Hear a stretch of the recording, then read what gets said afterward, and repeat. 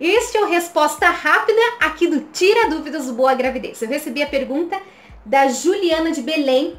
Ela escreveu assim: Patrícia, vou conseguir engravidar após eu parar de tomar o anticoncepcional? Sim, esse mito de que mulheres que tomam anticoncepcional, se ficarem tomando por muito tempo, elas vão ficar inférteis.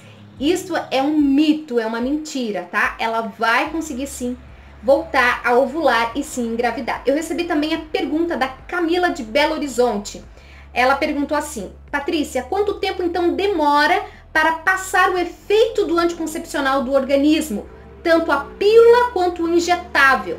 Muito boa essa pergunta. Um grande beijo então para Juliana de Belém e um grande beijo para Camila de Belo Horizonte. Veja, primeiro eu vou responder quanto tempo demora para sair o efeito do anticoncepcional da pílula, tá certo? Do corpo. Muito bem. O efeito da pílula ali, ela vai demorar aproximadamente de 3 a 6 meses.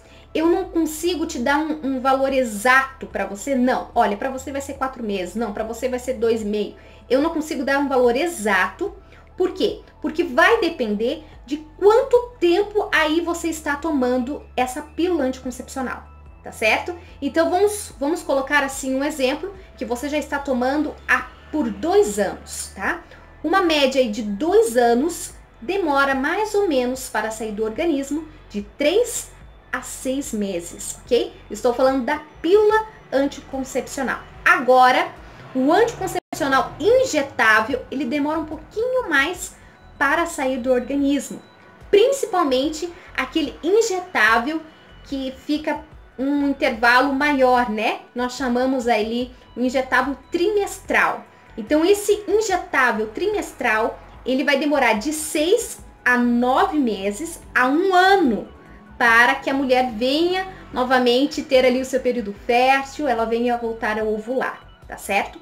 Agora o injetável, aquele normal, né, o mensal, ele também vai ser mais ou menos parecido com a pílula anticoncepcional. Então de 3 a 6 meses, mais ou menos essa média.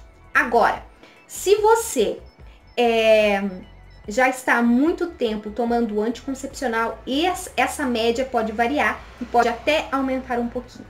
Passando-se de um ano a um ano e meio e você não conseguiu engravidar, passou essa média, você parou de tomar anticoncepcional e agora você já está sem tomar anticoncepcional por um ano a um ano e meio, você deve então procurar o seu médico para descobrir e investigar o motivo que você não está aí ovulando para que você venha então engravidar, tá certo? Mas a resposta rápida que eu quero deixar para você é o seguinte: a partir do momento que você parou ou falhou com o anticoncepcional, você já corre o risco sim de engravidar.